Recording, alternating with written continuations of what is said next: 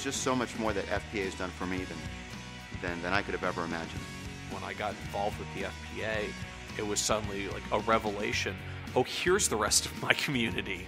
We are very close knit. We're very much an organization that talks through issues, talks through problems, and works on solutions. Wow. Uh, I can't, literally can't imagine my life without FPA. The FPA has really come of age and is really serving the profession proudly. The FPA's mission is really to be the community for everyone and anyone who is involved in the financial planning process. I have to tell you that I've met many um, tax experts, attorneys, trust officers that, that I'm able to use in my practice and my work with clients. Feeling connected and having a network, those would probably be the two most important benefits FPA provides for me. The relationships that I've made at the FPA have, you know, some of my best friends today.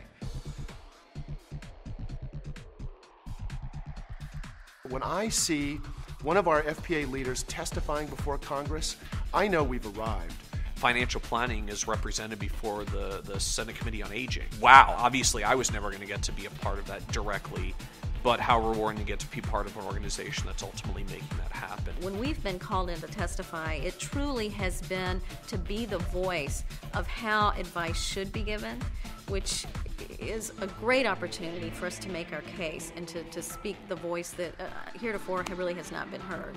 It's the only group that I'm aware of that speaks on my behalf as a financial planner to a larger audience.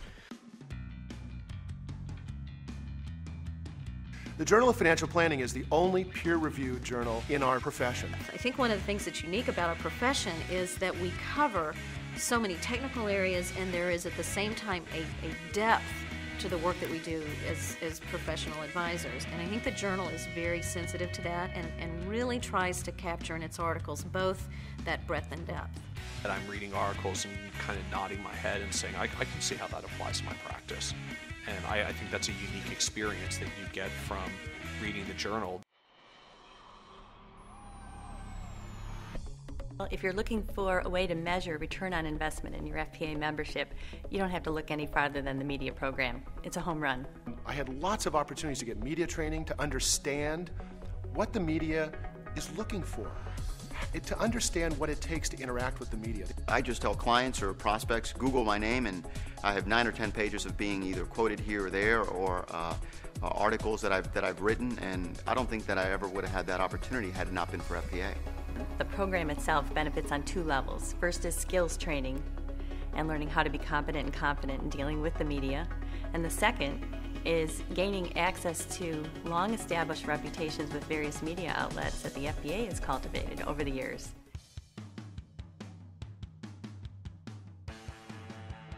The great part about the communities is you're able to connect with people that you wouldn't otherwise connect with.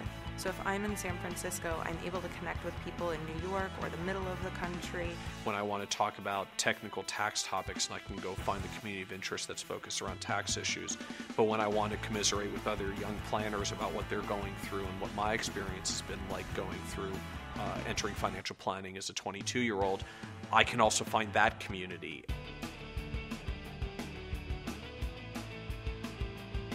This pro bono and public service work that FPA and its members does burnishes the reputation of the financial planning profession, puts financial planning on the map, gives people a deeper understanding of how important this is.